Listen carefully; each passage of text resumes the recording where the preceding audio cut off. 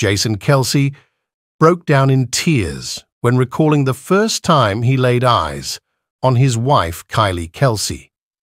The Philadelphia Eagles center tearfully announced his retirement from the NFL Monday, bringing an end to his glittering 13-year career on the field.